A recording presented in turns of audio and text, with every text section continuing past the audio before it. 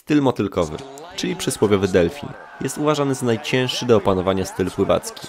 I nie bez powodu, gdyż synchronizowanie rąk i nóg wymaga trochę pracy, ale wszystko jest do zrobienia. W tym materiale pokażę Wam totalną podstawę, czyli falowanie na wodzie. Zapraszam.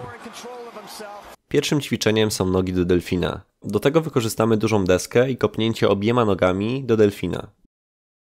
Pamiętajmy, że ruch wychodzi z bioder, nie z samych nóg i tak naprawdę to one są tutaj kluczem do poprawnego kopnięcia.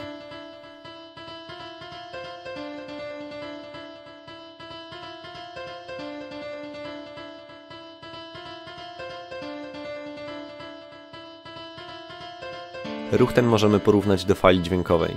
Kolejnym krokiem będzie falowanie z małą deską.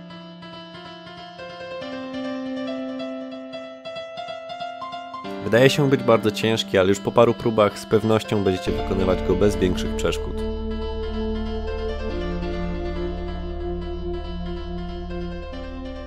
Celowo używam tutaj małej deski, gdyż chcemy troszeczkę się zanurzyć pod powierzchnię wody.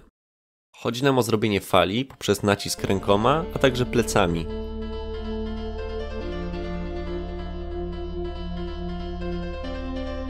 Skoro te dwa ćwiczenia mamy już opanowane, czas odłożyć deski i wykonać falę za pomocą naszego ciała.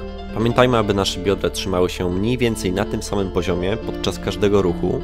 Głowa, palce u rąk, a nawet i nadgarstki także wspomagają nasz ruch, także warto je wykorzystać, aby było nam łatwiej w celu osiągnięcia opływowej sylwetki podczas pływania. Ćwiczenie możemy wykonywać na powierzchni wody, a także pod powierzchnią wody.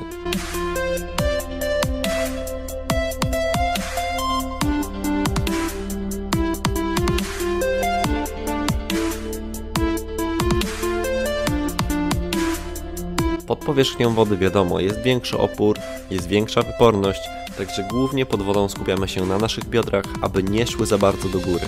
Jeśli spodobał Ci się ten filmik i w jakiś sposób jest on dla Ciebie merytoryczny, bądź nauczyłeś, nauczyłaś się czegoś z niego, zasubskrybuj, aby nie przegapić kolejnego. Dziękuję, cześć.